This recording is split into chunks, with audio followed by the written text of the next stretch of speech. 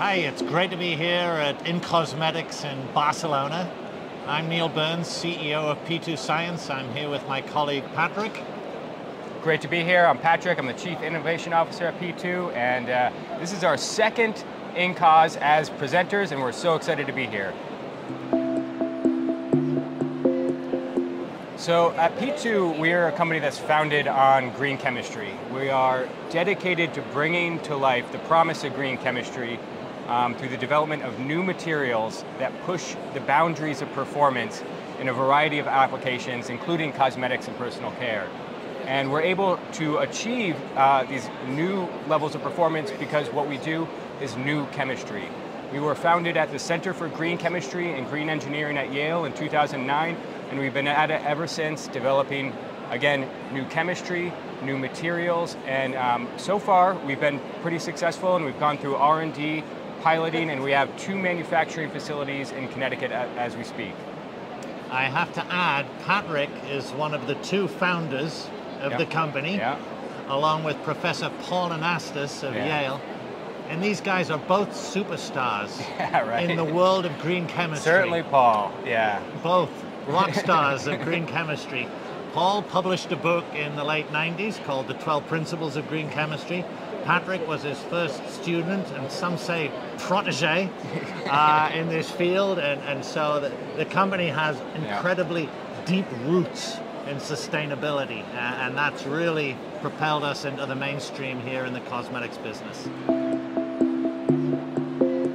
What sets us apart from other companies and other classes of compound is first and foremost performance.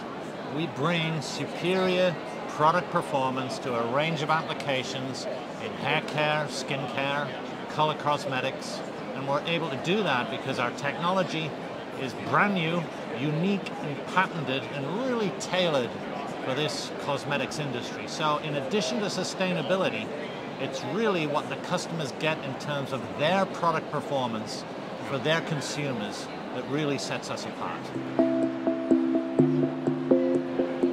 So what's unique about our approach and what makes our chemistry really special is that we do something that we think that um, not a lot of people do, maybe nobody else does, and that's unique to our approach, which is that we use new chemistry to make new materials. It's so often the case over the past several decades that new materials come onto the market using traditional chemistry. And there's only so far that you can get using traditional chemistry to make new materials. You really have to reinvent the chemistry itself by looking to the feedstocks, looking to the chemistry that's taking place in the reaction during production, so that you can access new materials that have higher levels of performance, so that you can access that next generation level of performance that people are seeking, and that is really important for all of us as an industry to succeed into the future. I think I'll add that you don't have to compromise yeah. when you get sustainability. We bring sustainability to the table, plus additional performance. There's no compromise between yeah. the two, and I think that's what's been very attractive for our customers as they work with our materials.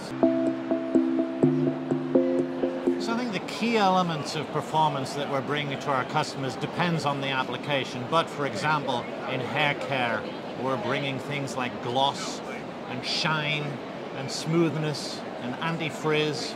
Skin care, you've got moisturization, in color cosmetics, you've got what's known as color payoff, the intensity of the color of the lipstick when it's applied to the lips. All these things are super important in terms of consumer perception and consumer satisfaction. That's what our customers are going for, and that's what we bring with our ingredients. Terms of the technology in our pipeline moving forward, P2 has developed uh, two platform technologies that we've deployed at our first-of-kind manufacturing facility in the United States.